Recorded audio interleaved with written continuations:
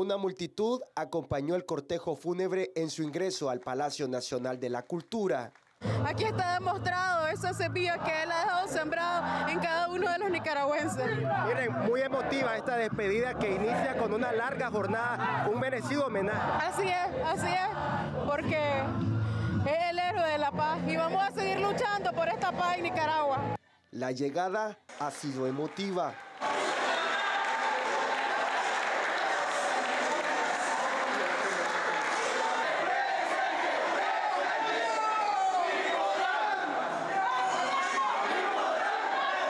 Era un hombre sencillo como todo nicaragüense, con sus cualidades, con sus defectos, un hombre de amor y paz.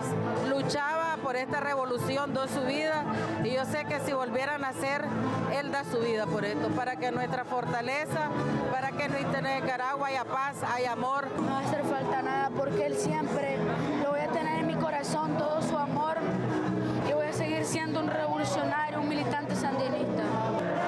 Nosotros nos sentimos así, ¿cómo se sentirá la familia?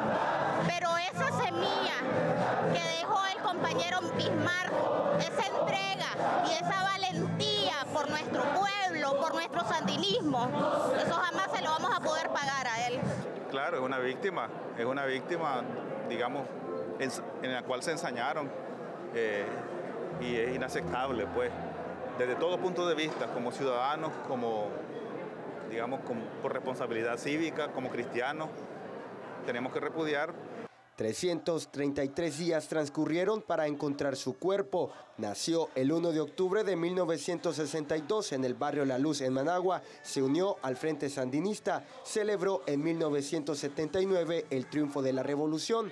Ese mismo año se convirtió en alfabetizador. Trabajó en la Dirección de Información y Comunicación y desde el 2012 se desempeñaba como trabajador de la Alcaldía de Managua. Hoy es un héroe de la paz y el amor. Con imágenes de Ernesto Rizo les informó Oscar Morales.